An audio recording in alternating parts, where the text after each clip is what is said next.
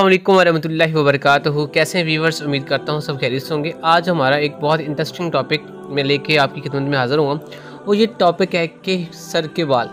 अच्छा सर के बाल के बारे में मैं बता दूँ कि तीन किस्म की प्रॉब्लम्स जो हम फेस कर रहे होते हैं, उनमें जो कौन कौन सी प्रॉब्लम है? पहले नंबर पे तो है कि जिनके बाल सिरे से होती नहीं, गंजेपन, यानी कि गंजापन हो जाता है, सादा लफ्ज़ में कहें तो। अब सेकंड जो इसकी टर्म होती है सेकंड जो स्टेज होती है, वो ये होती है कि बाल इतने गंजापन तो नहीं हुआ, लेकिन गिरना स्टार्ट हो रहे हैं वीक हो रहे हैं बाल। और इसमें जो थर्ड स्टेज आ जाती है, तीसरी प्रॉब्लम जो हम फेस कर रहे होते हैं, वो होते हैं कि हमारे बाल ना गिर रहे होते हैं और ना ही गंजापन होता है। लेकिन उसमें ये आ जाता है कि आपके बाल जो होते हैं कडली होती हैं, आपके बाल शाइनिंग नहीं होते बम फटे होते हैं, अजीब सी लुक दे रहे होते हैं तो आप कहते हैं कि आधा आधा घंटा उसको आप कंघी के साथ कॉम्ब के साथ उसको स्ट्रेट करने की कोशिश कर रहे होते हैं, उसको अरेंज करने की कोशिश कर रहे होते हैं। तो उसका सोल्यूशन मैं आपके लिए लेके आया हूँ। तो बड़ा ही नहायत और आसान तरीका है, लेकिन उससे पहले मैं ये भी बात बता दूँ कि जो हेयर है, वो इंसान की हाफ़ ब्यूटी है, आधी खूबसूरती है। तो किसी एलेक्स मोर्टिन, आप सर्च कर सकते उन्होंने कहा था कि hair is a half beautiness of the face. तो जो चेहरे की खूबसूरती है, वो आधी खूबसूरती जो हेयर के ऊपर डिपेंड करती है। लेकिन व्यूवर्स मैं एक बात बताऊँ आप लोगों के लिए ज़्यादा सादा सादा मैं बातें करता हूँ, कोई इतनी कम्प्लेक्स वाली बात नहीं कर रहा, सिंपल सी बात ये है कि वाकई यूट्यूबर्स भी हैं, वो भी आपको बड़े नुस्खे वगैरह बता रहे होंगे।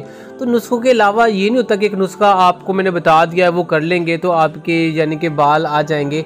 ठीक है, बाल आ जाएँगे, लेकिन उसके साथ कुछ ऐसी चीज़ें भी होती हैं जो आपने डेली रूटीन वाइज अडॉप्ट करनी होती है। उस चीज़ों का ख्याल ख्याल रखना होता है। मैं बार बार अपनी वीडियोज़ में ये क्यों बार बताता हूँ कि आपको एक बीमारी लग चुकी है, आप मेडिसन भी रेगुलर तौर पर ले रहे हैं, लेकिन उसके साथ आप अगर उसका, अपनी डाइट का ख्याल नहीं रख रहे आपने क्या खाना है, आपने किन चीज़ों से परहेज़ करना है, इनका अगर आप ख्याल नहीं रख रहे तो आपको वो मेडिसिन बिल्कुल भी फ़ायदा नहीं देगी।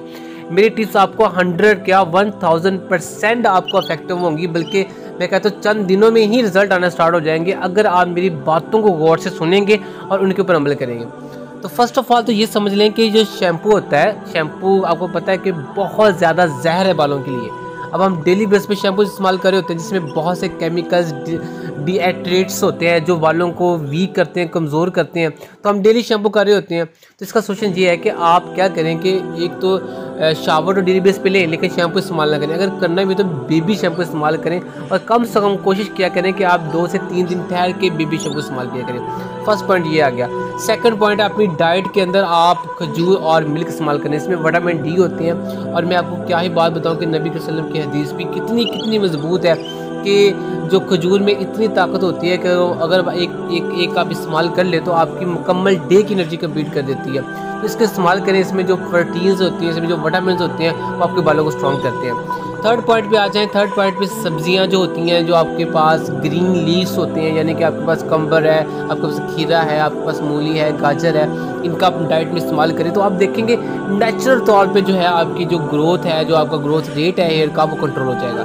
अब आते हैं टिप्स की तरफ़ वो टिप्स क्या? तो मैं बहरहाल ये बात क्लियर कर रहा हूँ। कि आप इन चीज़ का, अपनी डाइट का, अपने लाइफ का ख्याल करेंगे तो फिर ही ये चीज़ें आपको अफेक्ट करेंगी। लेकिन अगर आप मेरी, जो आपको, मैं आपको तरीका बता रहा हूँ, जो मैं टोटका बता रहा हूँ, वो इस्तेमाल करें और कहें कि हमने जो वीडियो देखी थी और हमें भी कोई फ़ायदा नहीं हुआ तो भाई ऐसा नहीं होता। आपको हंड्रेड परसेंट क्या वन थाउज़ेंड परसेंट रिज़ल्ट मिलेंगे। मैं हंड्रेड परसेंट कर रहा हूँ। कुछ ही दिनों में आपको मिलेंगे, लेकिन उसके फ़र्स्ट वाले मेरी बातों को सुने और उसके ऊपर अमल करें। अब आते हैं कि वो तरीका क्या है। छोटा नहायत सा तरीका ज़रा ध्यान से सुनिएगा। आपने एक पाव जैतून का तेल लेना है।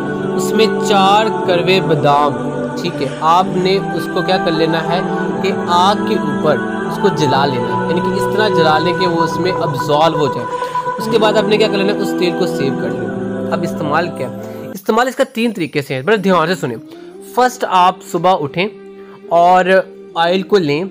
और जो जहाँ पे हेयर नहीं है, वहाँ पे आप रबिंग करें, मालिश करें हाथों से हाथों के जो फ्रंट फिंगर्स होते हैं फिंगर टिप्स होते हैं, उनसे मालिश करें, उसको आप, उसको रेबिश करें और उसके साथ बालों की जड़ों में अच्छी तरीके से करें।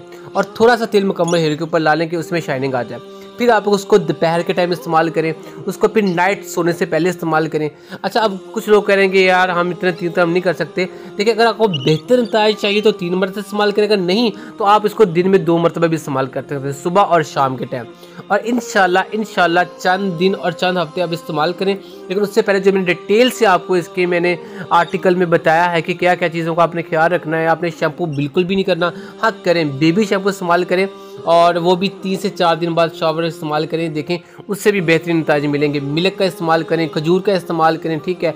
ग्रीन लीफ का इस्तेमाल करें अलहमदिल्ला आपको नेचुरल लुक भी आएगी आपके बालों में शाइनिंग भी आएगी और आपके बाल भी रिकवर होंगे और ऑलमोस्ट इन कुछ ही हफ्तों के अंदर जो आपके बाल होंगे, वो दोबारा आना स्टार्ट हो जाएँगे।